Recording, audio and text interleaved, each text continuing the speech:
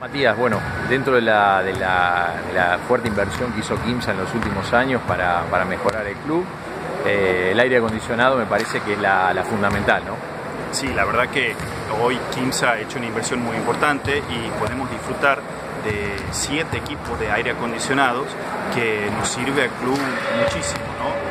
Porque nos da un confort a los espectadores, a los que venimos a ver el partido, a los que trabajamos justamente dentro de, dentro de, este estadio y a los jugadores que siempre nos agradecen, digamos, poder disfrutar de, fresco en una ciudad tan, pero tan calurosa en Santiago del Estero y sobre todo en estas épocas, ¿no? Por ahí, en diciembre, enero. No solo los locales, sino también los visitantes están agradecidos porque es algo que en la Liga Nacional se, se ha vuelto a escuchar mucho este verano, ¿no? Siempre se pide jugar en otra etapa del año, bueno.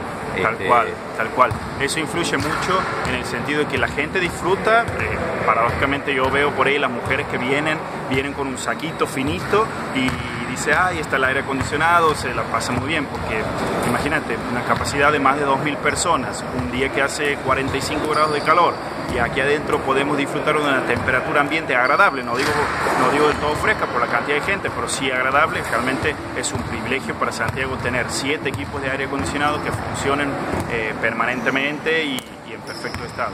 Eso es con un grupo electrógeno que Hoy los equipos, los equipos de aire acondicionado funcionan con dos eh, grandes equipos, dos motores a gas eh, que permiten que el, permite el funcionamiento permanente y continuo en, en cualquier evento deportivo que haya dentro del club.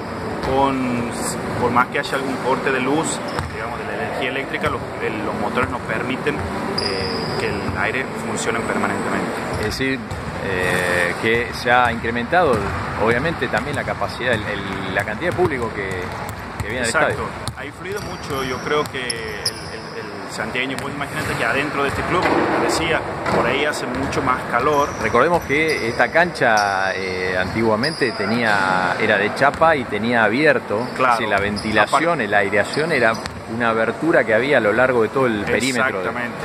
A partir del 2003, cuando, eh, del 2013, perdón, el presidente de la institución, eh, Gerardo Montenegro, eh, inició un camino de grandes remodelaciones y entre esos ha sido justamente, digamos, pensar en colocar los aire acondicionados, lo cual nos ha llevado a, ¿qué? a cerrar todas esas ventilaciones que vos decías, ¿para qué? Para permitir que los equipos funcionen eh, de manera óptima.